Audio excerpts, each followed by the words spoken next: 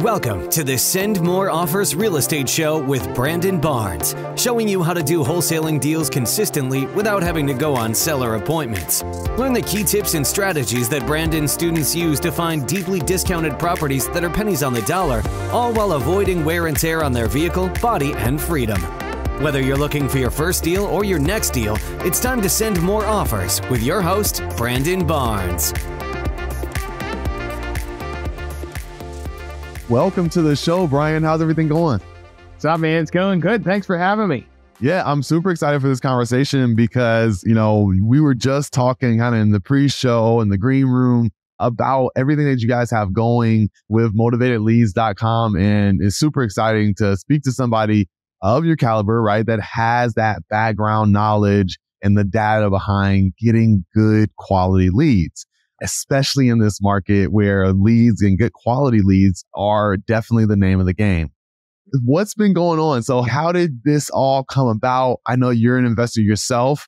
Like, how did this motivated leads come together? Yeah, sure. So, I'll give you the short story. Back in like 2004, I got involved with digital marketing and on the SEO side. So, I was on a platform, it's called Odesk, which is now Upwork. Yep. I was just like freelancing on there, charging 20 bucks an hour, helping people out, doing some consulting. And then that grew into a business. So I, it, it grew into an agency called Think Big Marketing, where I was dealing with uh, large like national and international companies charging like 150, 250 an hour to do their marketing. Nice. I did that for a long time. And then I bought a prop, went to a Ron LeGrand seminar back in like 98, got into real estate, but I failed miserably. And uh, probably about 10 years ago now, nine, 10 years ago, I got, I actually got my first deal. I found it on Craigslist and I saw the wholesale fee. The deal made sense with the wholesale fee. I'm not dogging the fee or anything, but I'm like 15 grand. Let me slap up a website and see if I can get deals, you know?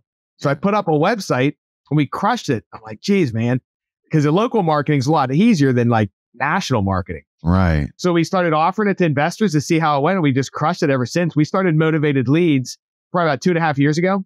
Yeah. Yeah. That's all we do now. Just generate leads for real estate investors. And I just buy properties and hold them. Wow. So your background in digital marketing and everything that you were doing with Odesk, formerly known, right? Upwork now. And like, how did you get into that? Was that, you know, marketing? Did you go to school for that? Uh, did you just naturally enjoy it and, and really do it in your free time? Yeah. You know what? I got into it. My buddy, I have a buddy here. Uh, his name's Phil Laboon. He's in Pittsburgh and he's always ahead of curves. So back in like 2000, he got involved with SEO.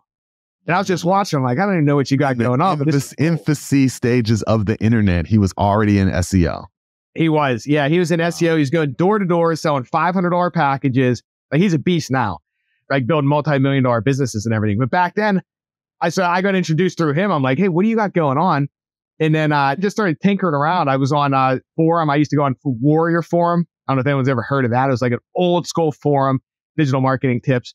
I'm just self taught. So I get punched in the face a whole bunch and keep getting back up. And yeah, I just kept figuring it out and liked it. And now pretty good at it, you know?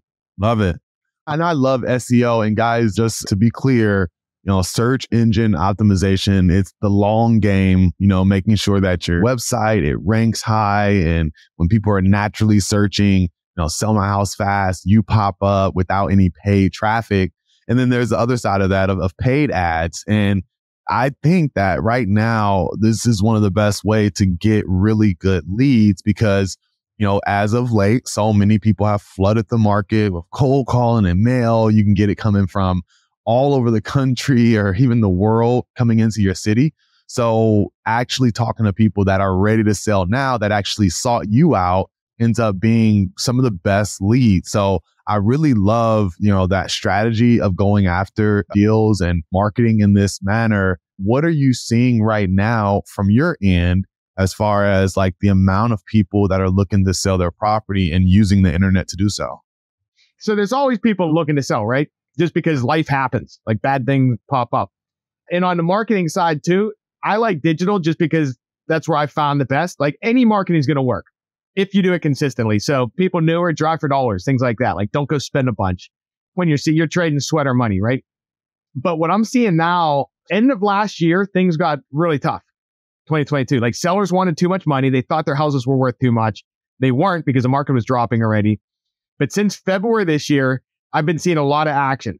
And I think people are even seeing it when they're listed on the MLS too. You're getting a lot of action, multiple offers. So the market should have corrected already and it hasn't.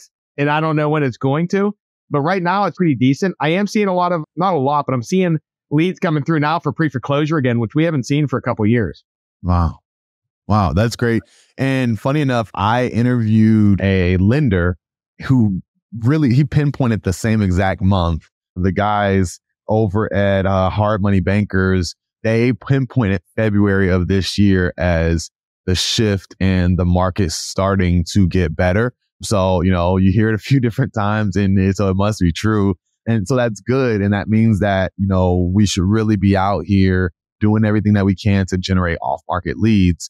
And digital is a great way just so people kind of get a sense of what your team does and how it operates. Can you kind of give us some background on what are the tools and the means that you do online to generate these leads? Yeah, sure. So we generate leads. I use Google pay per click, Facebook, and SEO. So what we have is we have Google pay per click that's paying to be at the top of the search engine. And you're paying per click and it's expensive in this space. Like you might spend 20, 30, 50 bucks for one click. Then we do Facebook ads. That's marketing to people through ads like visuals. You're paying per impression. So you might pay Facebook 20 bucks to show your ad to a thousand people. And you need to just make sure you're targeting the right audience there because you're competing against shoe stores, bakeries, whatever's trying to market to that audience. Then SEO, like you were saying before, is just ranking in a free section of Google. So there's, they all work. They work really well together.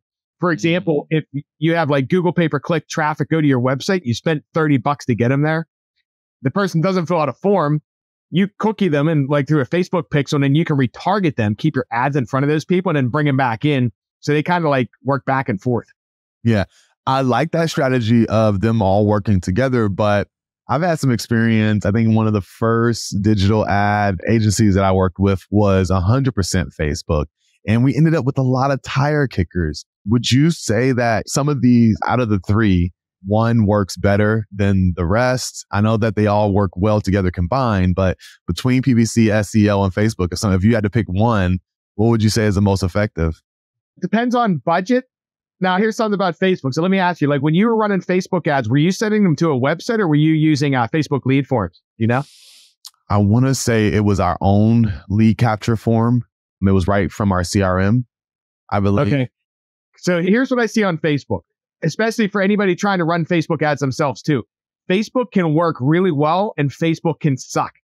Uh, what I mean by that is when you're running Facebook ads, there's all these different objectives that you can choose you can choose to run ads for engagement. You can choose to run them for uh, traffic. You can use to run them for leads. Facebook is their algorithm so smart. They know who's going to click the like button and do nothing else or click your link and then do nothing else once they get to the page. So number one, when you're setting things up, I recommend setting things up with a, with a conversion based ad. But reason I'm talking about that is even on the lead side, there's different ways you can do a Facebook lead form. Then both ads look, all the ads look the same. So a lead form is someone sees your ad, says sell your house fast. They click it. It opens a form inside Facebook, pre-populates your info from Facebook, and that's a lead. Mm. Those are going to be like super low quality, basically garbage, right? Yeah. If you take someone that clicks that same looking ad, we send them to a website. The, I, I kind of use a website to disqualify people. So it's kind of like the gatekeeper. So we like the website might say, sell your house fast. We're investors. We're not paying top dollar. But if you're looking for a convenient offer, fill out the form. And then we have them give us their name, phone number, email address. After they do that, we ask them more questions like, why do you want to sell? How fast do you want to sell? How much work does your property need? And if you do that and push them through like a funnel in a, a couple multi-step form, usually generates decent quality leads there. But you're right. If you do it the other way, though, it's like you might close one out of 100. It's like they might as well telemarket. Right. Right. Makes sense. And so, you know, all of these items, I'm assuming, have been kind of like a trial and error over the time. And getting the impressions, getting the leads, that's just kind of half the battle. Do you see some variation in the operators and what they do after the, lead comes in like you know you, have you gotten feedback from some of the folks that purchase these leads like is it you know a slam dunk is it easy do some people succeed and others don't yeah that's a good question first to answer your other question i didn't even answer your question i went on a tangent i choose facebook first really Facebook, then Google pay per click, then SEO. Because wow. you're gonna get the biggest bang for your buck if you do it right. But expect to spend um if you're running your own Facebook ads, 150 to 200 bucks per lead on Facebook mm. versus lead forms might be 30 bucks. So what about the others? Why don't we just go on and compare the compare notes here? Yeah, PPC, how much per lead? SEO, how much per lead? Okay, so it depends on what city. We'll just talk about like averages across the US. Like Facebook, I'd say 150 to 200. Uh, Google pay per click, 250 to say 350 a lead. SEO, SEO is like a long play. You can't really, I don't know how to tell what the actual cost per lead is there because it's like SEO is going to give you one of the highest quality leads. But also, if you do SEO, don't expect a lead for six months. Like, expect right. But even the folks that use SEO, it's like somebody working on their website over time, consistently. The budget for that ends up being like you use, you know, a good SEO, somebody working specifically on a website. Is that going to run you what, maybe $300 per month or so? Um, and, yeah, like, yeah. Someone good on SEO is going to be a couple grand a month. Mm. But you can do SEO on your, on your own too. Like SEO, all SEO is here's SEO in a nutshell Google's sole purpose is to generate, to give people answers. So they're trying to find the most relevant website out there, right? When for any question, House Fast, what's the most relevant one that Google sees? Boom, they put it at the top. So a lot of it comes down to content, creating value for people on your website, things like that. A lot of people can do that for free. And then it has link building, which is building links to your website. They're kind of like boats. So you can you can build links yourself. There's a website called HARO, like help a reporter out.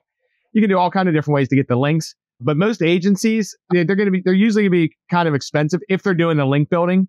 You can get SEO done for really cheap too, but you have to watch on the links, like to make sure you're not doing spammy stuff because you can also disappear from the search engine. Mm. Yeah. And, and, so doing this yourself, like what would that even look like? I know, you know, if, it, if it's that expensive for somebody to do it very well, for somebody actually doing this themselves, SEO, I mean, like how involved are we talking? Yeah. So here's what you're looking at when you're doing SEO, right? like what we do for clients. So number one, you have to have all unique content on your website. So I know a lot of people, especially in this space, get websites that are like cookie cutter websites that are really easy to put up. Like Carrot's a really good website that I use. Right. Uh, the, and Carrot converts really well, but all their content's duplicate content. So first thing is you need to go through and rewrite all the content. And then you have to even take a step before you do that and you have to do keyword research. What that is, you need to search you can use tools like SEMrush, semrush.com or Ahrefs and type in words like sell my house fast and see how many people search that a month. Because, and then what your primary goal is to find is which phrases are people searching and then try to rank for those. You have to do the keyword research, then write the content, get the right keywords in the right spaces. So you're going to have a lot of research involved with that, like even understanding what's a title tag, what's a meta description, where do the keywords go? But it's possible for people to do, especially if you're just starting out you can do this stuff on your own. Seasoned guys normally don't want to mess around with that stuff because it's a lot of trial and error and it takes like six months or longer to see results. So you don't know if what you're doing is right or not until like six months later to see if you're getting rankings. Mm. And then with that, like keyword research and whatnot, is that something that you would have to continue to do month after month? Like what's ranking now versus what it was, and then alter your website to be better? Yeah, kind of. So you do the keyword research. Like once you optimize a page on your website, it's usually done. But to rank and like you want to continually be writing blogs or creating content. So every type of piece, if you want to write something about how to avoid foreclosure, you're going to have to go research the keywords and be like, it might be like how to avoid foreclosure or how to stop foreclosure or what, like, here's an example, like car attorney, car, oh, what is it? Like car accident attorney versus car accident lawyer might be 5,000 5, searches different just from attorney and lawyer. Uh, so say even in this space, like sell my house, sell my property, which, which one are people searching? Sell my home. You have to research, okay, what are people typing into Google? Because if people are typing in sell my home and you're trying to rank for sell my house or vice versa, you know what I mean? There you go. Got it. Got it.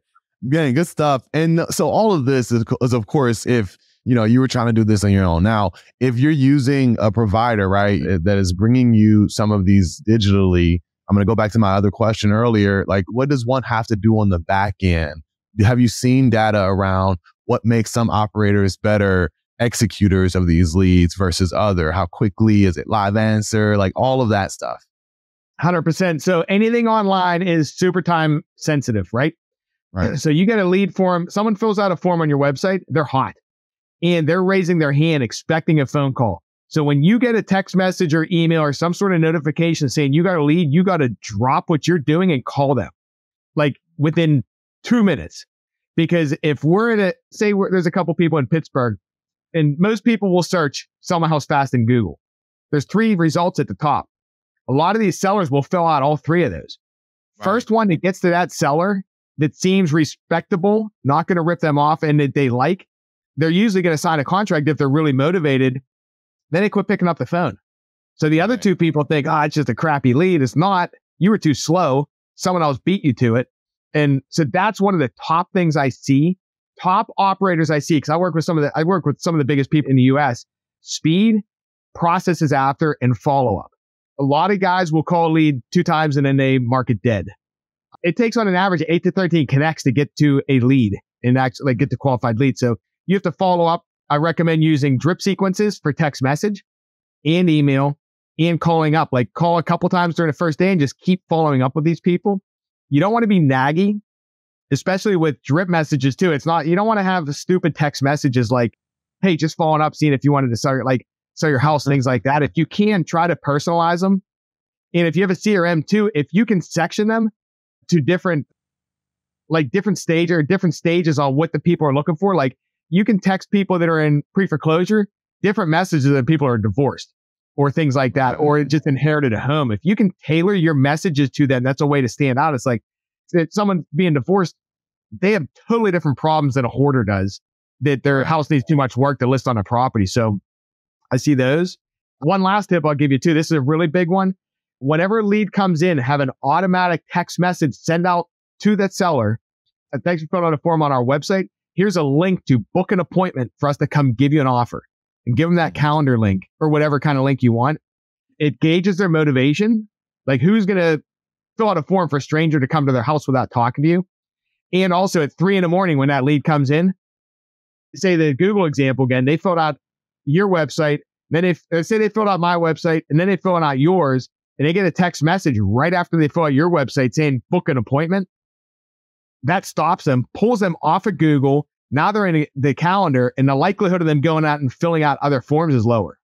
Love it. Good stuff. Good stuff. Yeah. Yes. Very, very good stuff. And I think that that's going to help out a lot of people. And like I said, just generally give folks a sense of, you know, what digital marketing is all about, what's working. You know, we got to talk about the market as well. I want to ask you just where do you see you know, uh, marketing for off market leads going, like the, the overall landscape. And I'm talking not just digitally versus some of the other channels. What's going on right now? What do you see into the future? So I see digital is a really good way to have people call you.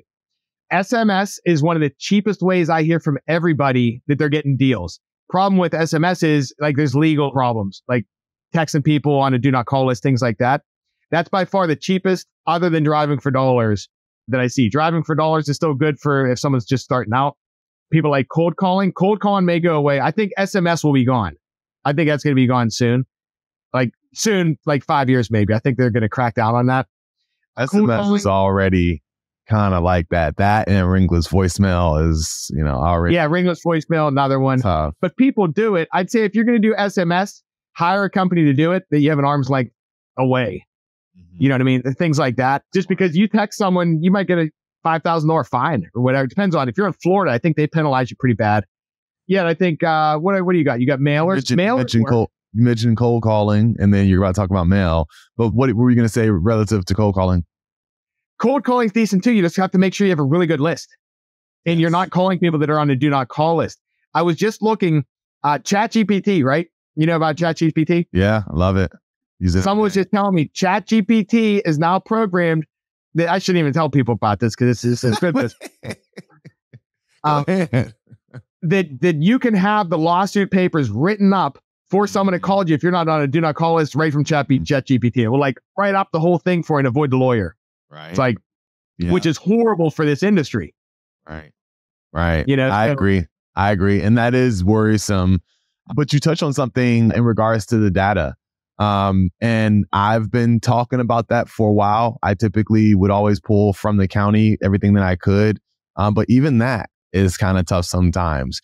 Do you have to worry about data issues because you're a digital marketer first?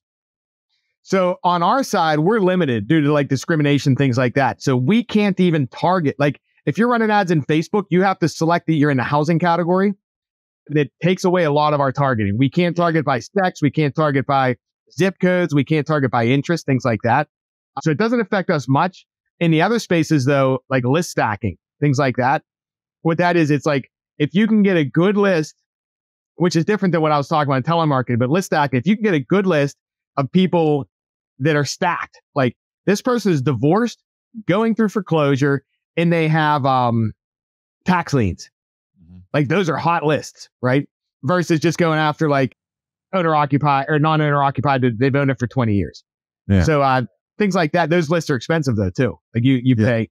Definitely the county lists I think are the best. Like you're talking about though, because you can get it in real time versus buying from a a data aggregator that's like a month behind.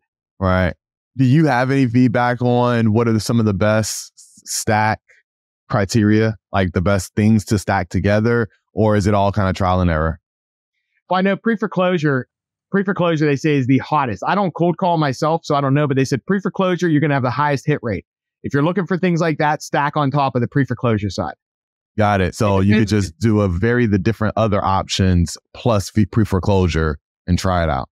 Yeah, it's going to depend on your market. Like some markets, you might just have to go pre-foreclosure if the population is not there. But if say you get a list of pre-foreclosure and it's like 100,000, then it's like, okay, let me add something else on there. Okay, maybe if I put divorce on it, it drops to 40,000. Can I afford to send mailers to 40? No. Okay, let's stick something else on there and get it to your budget. But some markets, you might do pre foreclosure. If you're in a, a, rural area, there might only be like thousand people. Yeah. You know, big facts. Good stuff, man. This, I could talk about this stuff all day. I really appreciate it.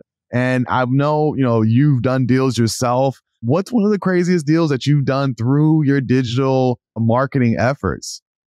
Yeah, so I got a uh, I got a deal. It came in um I think it was Dece- November, December this year. It came through our Carrot website, right?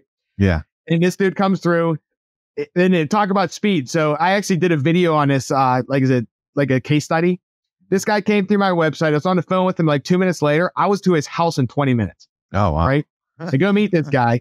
It was cheap too. The house, the house was hammered, and uh, he wanted like sixty grand or something. So I'm like, okay, hey, uh, let's do it. And uh, this this is actually a good testimony on, on follow up too.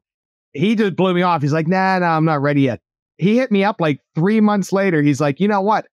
I went out and fixed the foundation in the concrete, uh, but I'm ready to sell now, and I want seventy grand. So he's like, yeah, just because I did it, I'm like, dude, it would cost me more than ten grand to fix that stuff.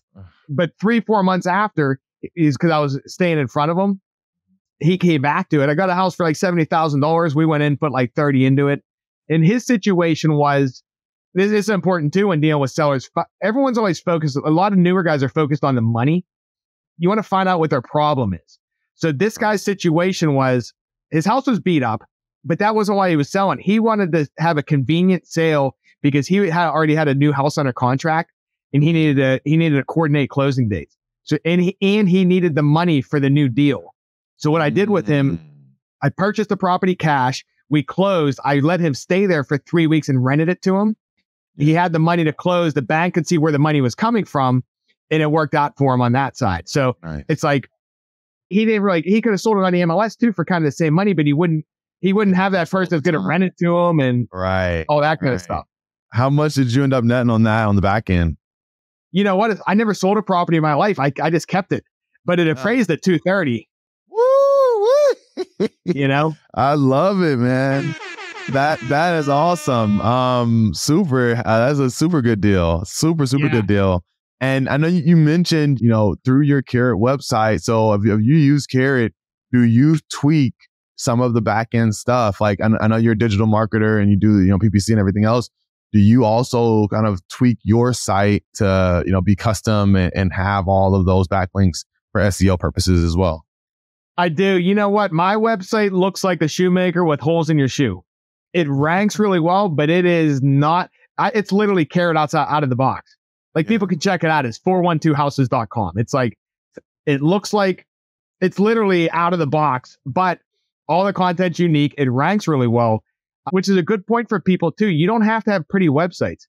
You have to have websites that say what you do and get the right traffic to them. So if you think about a seller, they're looking to sell. They want to come to your website. They don't want to, um, which I'll, I'll talk about mail and, this, and for this exact example too, but they don't want to deal with fancy looking sites. They don't want to deal with bankers, like banks that, that look real corporate. Yeah. Uh, on the mailers, I sent a mailer. I used to do mailers back in the day and we, I did yellow letters. They worked really well. And then me and my business partner, Chad, came up with like, hey, let's send some postcards that are really professional. We're going to match them to the city colors. They're going to look awesome. And they did. We sent 5,000 pieces and got zero phone calls. Oof. So ever since then, I, it made me think it's like, okay, sellers want to deal with real people. They want to deal with individuals. Joe down the street that buys houses, not not the bank down the street that's going to come in with guys in suits and like take advantage. You know, Mm, that's gold. And I want you guys because I know folks and I know there's some coaches and some gurus that, you know, say, hey, you know, uh, let me see what they'll talk to a seller and say, uh, let me see what I can get approved for you, or let me go talk in the in the back office and make you another triple, you know, type offer. And I still don't think that that's the way. I think being the local home buyer is still king. I still think that that's the best way to do deals. So, you know, be true who you are, especially when you're starting out, because then you're just being honest, right? Yep. Yeah. yeah, That's that's so true too.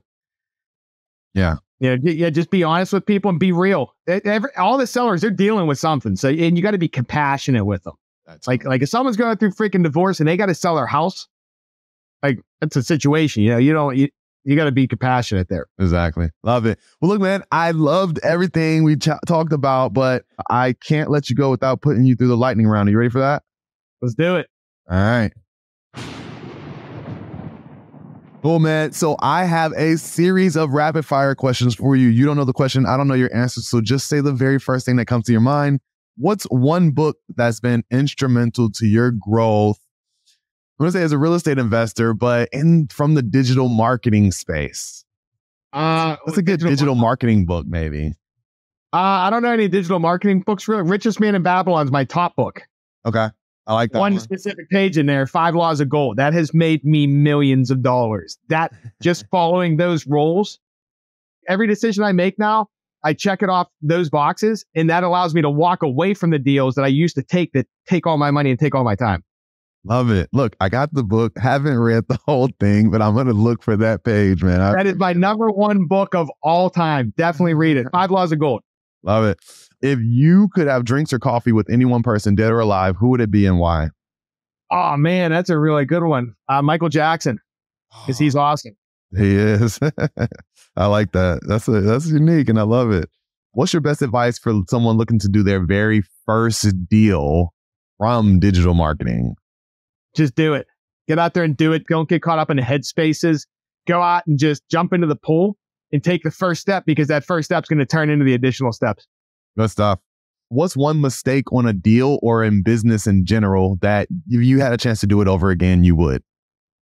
Oh man. Um, I lost about 50 grand in real estate my first round dealing with pre-foreclosure real estate, partnering up with people that had, uh, it was, it broke the five laws of gold.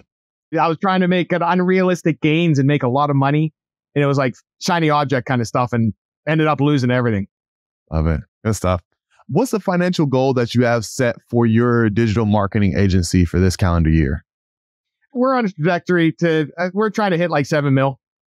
Love it. Oh man, that's uh that might be in the wrong business. If you woke up tomorrow with five hundred million dollars deposited into your account overnight, what's the first thing you would go out and purchase with that newfound money? I don't know if I necessarily purchase anything. I would take it and spend it on advertising with charities that I believe in. Good stuff. Good stuff. Last one. What would you tell the person that's looking to scale their business? And I I want you to answer this from the mindset of what you've done to grow and scale your business. Yes, so scaling business, I would say number one, do it. Get the right people. There's a book I have it right there, Traction. Read that Mhm. book. But the main focus would be spend more time pre-vetting employees to get the right people in the right seats because when you go too fast and you hire the wrong person, it takes three to four months to find that out and it just sucks. So try to find the best talent you can and then spend time and actually train them and don't just try to offload on them. Really good. Really good stuff. Man, this has been great. I really appreciate it. And, you know, from everything that we talked about, um, you know, all the tips and tricks with digital marketing, we dove into SEO, talked about Facebook leads, and also about how to make sure that you're converting these leads on the back end. You even gave us some great pointers about going out and doing some of the tweaks and changes to our marketing and our websites as well. Really, really good stuff. But how can people follow you, follow your journey, or learn more about you and your company? Yeah, sure. You can go to motivatedleads.com and we have a Facebook group called Flip Club. You can apply in there also. Love it. Guys, make sure you go check that out. Definitely, I'm joining Flip Club too. So you might see me in there. And guys, while you're at it, head over to sendmoreoffers.com. I'd love to chat with you. Based off that website, there's nothing for sale. There's just a bunch of great content, show notes from the great guests that we've had over the years. And also, you can connect with me if you have any deals in the Southeast at USA. Uh, reach out to me there. Send more offers com. Bryan, this has been great, man. I really appreciate you. Keep going out there and crushing it. And uh, we're going to have to chat about some leads here soon. Sounds like a plan, man. Good talking with you. Yes, you as well. Uh, guys, as always, send more offers, do more deals. Till next time, peace. That's all for this episode of the Send More Offers Real Estate Show with Brandon Barnes. But we know you're craving more knowledge to get yourself ready for that next deal. To schedule a call with Brandon to learn more about how to do deals consistently without seller appointments in a repeatable way, be sure to visit us at sendmoreoffers.com. And be sure to tune in for the next episode of the Send More Offers Real Estate Show.